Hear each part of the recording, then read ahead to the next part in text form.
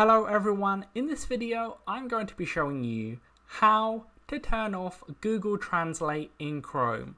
So as you can see we're on Google Chrome and the first step is going to be going to the top right hand corner. We see there's three little dots where it says customize control Google Chrome.